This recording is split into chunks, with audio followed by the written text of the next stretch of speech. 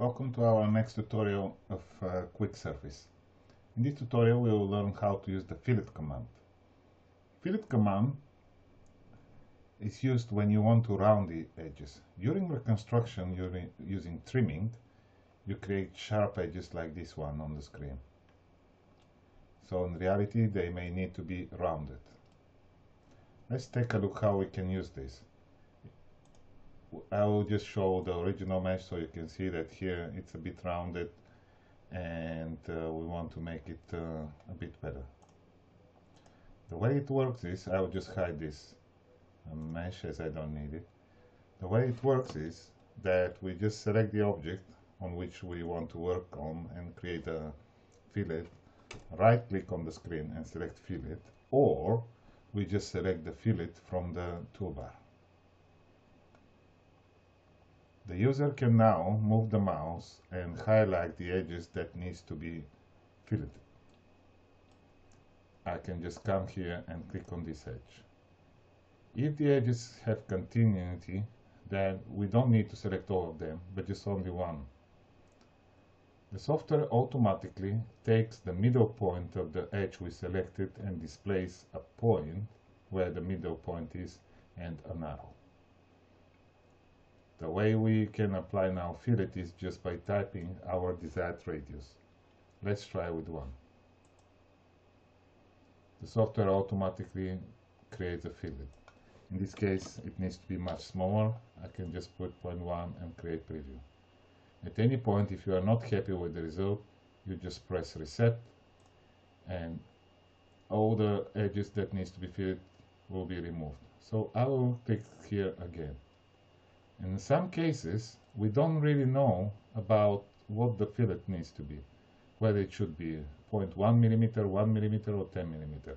So that's why we just move the cursor over the arrow, it becomes a hand. We hold the left mouse button and we start moving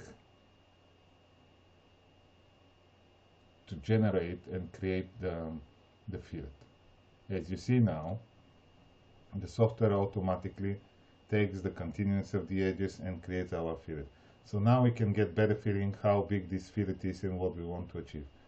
The radius is automatically updated so you can see here and you can come and make it exact, for example 0.3. When you're ready, you just press OK. Now we have a rounded edge. If we take a look at the reference mesh, there is a big uh, fillet here and during the reconstruction, although I, I could make this rounding in the um, revolved surface itself, I intentionally created this with the sharp edges. So we'll try to create a fillet here. I just select the object, right click and create fillet. Before I begin, I will just turn the tolerance option on.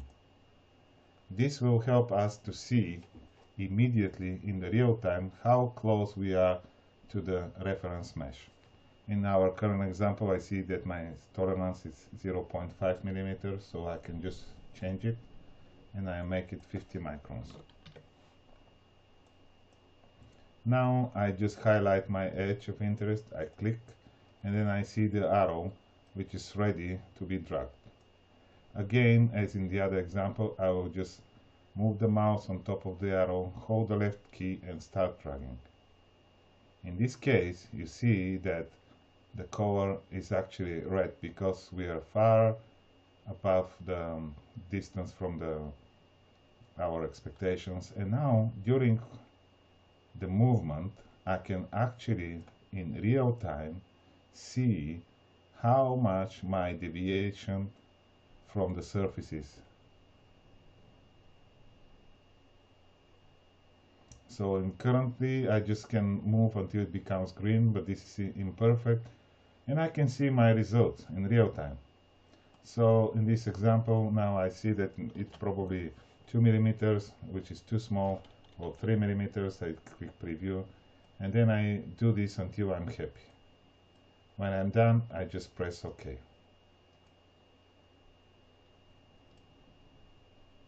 let's try a multiple edges I'll just select this and going for filleting. I can just pick this, then I can click on the other one, and as you see, you don't need to press Control or Alt. If you click on an edge, it's automatically added to the number of edges that you need to fillet. If you want to remove an edge and you don't want to apply fillet, you just go again and click and it will be removed from the selection.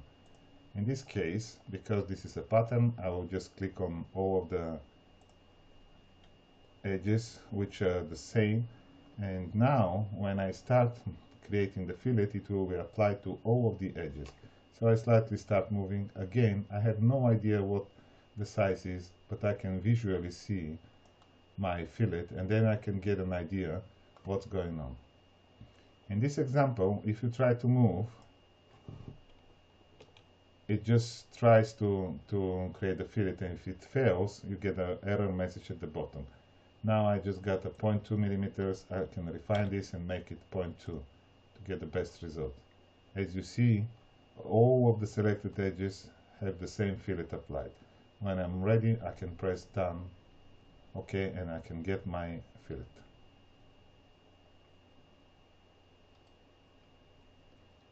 These are the basic about the fillet operation. Thank you for watching.